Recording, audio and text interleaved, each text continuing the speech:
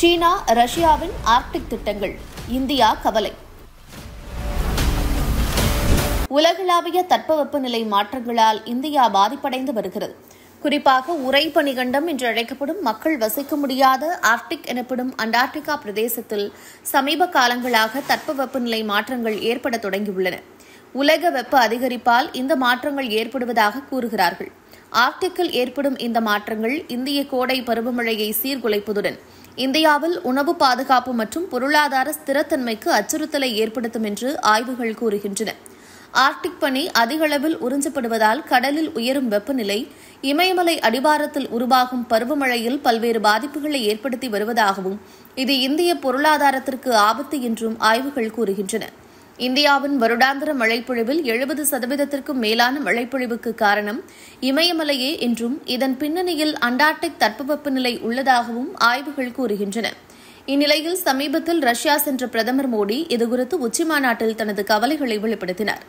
ஏனெனில் யுக்ரைன் போருக்கு பிறகு இப்போது ரஷ்யாவும் சீனாவும் நெருக்கமான உறவுகளை ஏற்படுத்தி வருகின்றன. ரஷ்யாவை பொறுத்தவரை சீனா மிக முக்கியமான பங்காளியாக மாறியுள்ளது. சென்ற மே மாதம் புதன் மற்றும் சீன ஜனாதிபதி ஜி ஜின்பிங் இருவரும் இணைந்து வரம்புகள் இல்லை என்ற பெயரில் தங்கள் மூலோபாய கூட்டாண்மையை வலுப்படுத்தினர். குறிப்பாக அமெரிக்காவின் தலைமையில் மேலை நாடுகள் ரஷ்யாவிற்கு எதிராக ஏற்படுத்தியுள்ள பொருளாதார தடைகளை எதிர்ப்பதில் சீனா முக்கிய பங்கு வகிக்கும் என்று சீன அதிபர் ஜி உறுதியளித்தார். சீனாவுடனான ரஷ்யாவின் இந்த நெருக்கம் இந்தியாவை கவலையடைய செய்துள்ளது. குறிப்பாக வெப்பநிலை மாற்றத்திற்குள்ளான அண்டார்டிக் பெருங்கடலில் சீனா எப்போதும் இல்லாத அளவில் உள்ளே நுழைய தொடங்கியுள்ளது. ரஷ்யா மற்றும் சீனாவிற்கு வடக்கே அமைந்துள்ள அனைத்து உலக நாடுகளுக்கும் பொதுவான அண்டார்டிகா கண்டம் இரு நாட்டு கடல் எல்லைகளையும் ஒட்டியுள்ளது. அண்டார்டிகாவை இந்தியா அறிவியல் ஆய்வுகளுக்காக மட்டுமே பயன்படுத்தி வரும் நிலையில் சீனா இப்போது ரஷ்ய ஆதரவோடு ஆர்க்டிக்கில் வர்த்தகம் மற்றும் முதலீட்டு ஒத்துழைப்பை தீவிரப்படுத்தி வருகிறது. குறிப்பாக அங்கிருந்து எரிசக்தி மற்றும் சுரங்கம் தோண்டி தாது பொருட்களை வணிக ரீதியாக எடுப்பதற்கு சீனா முயற்சிக்கிறது.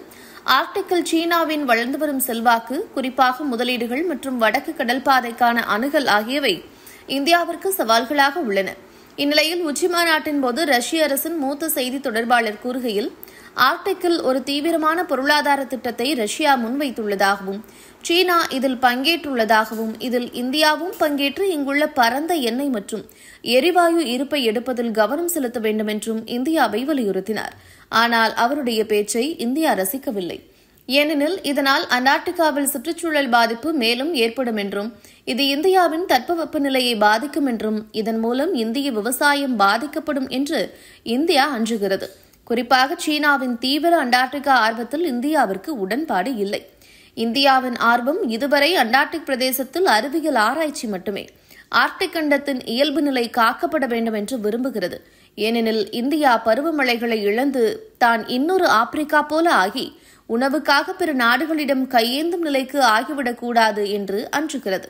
ஆர்க்டிக் கடல் பணியை பாதுகாப்பது அதன் மூலம் பருவமழை நிலைத்தன்மையை பாதுகாப்பது இந்தியாவின் நீண்டகால நலன்களுக்கான அபாயங்களை குறைப்பது அதன் மூலம் தனது விவசாய பொருளாதார லட்சியங்களை ஆதரிப்பது இந்தியாவின் லட்சியங்களாக இருக்கிறது.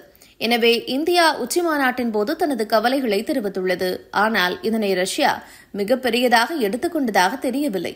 இந்நிலையில் ஏற்கனவே அண்டார்டிகா பாதுகாப்புக்காக குரல் கொடுத்து வரும் இந்தியா ஆர்க்டிக் மீதான தனது நிலைப்பாட்டை இன்னும் உறுதியாக வலியுறுத்த வேண்டும்.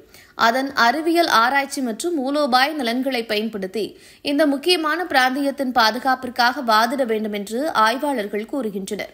மேலும் ஆர்க்டிக்கின் முக்கியத்துவத்தை எடுத்துரைக்க அறிவியல் ஆராய்ச்சி மற்றும் ராஜதந்திர முயற்சிகளில் இந்தியா இன்னமும் ஈடுபட வேண்டும்.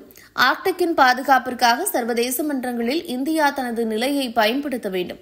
விரைவான காலநிலை நடவடிக்கையை பரிந்துரைக்க அமெரிக்கா ரஷ்யா மற்றும் சீனா ஆகிய வல்லரசு நாடுகளை ஒரே அச்சில் கொண்டுவர தனது ராஜதந்திரங்களை இந்தியா பயன்படுத்த வேண்டும் என்று இந்திய வல்லுநர்கள் கூறியுள்ளனர். மேலும் இந்தியாவின் உலகளாவிய சமச்சீர் கொள்கை மற்றும் மென்மையான அணுகுமுறை மூலம் சீனாவின் அண்டார்டிகா மீதான அபிலாஷைகளை எதிர்க்க முடியும். ஆர்டிக் பிரதேசம் அமைதி மற்றும் ஒத்துழைப்பின் பிராந்தியமாக இருப்பதை இதன் மூலம் உறுதி செய்ய முடியும். எந்த காரணத்தை கொண்டும் இதில் இந்தியா பின்வாங்க கூடாது என்று இந்திய சூழல் ஆர்வலர்கள் வலியுறுத்தியுள்ளது குறிப்பிடத்தக்கது.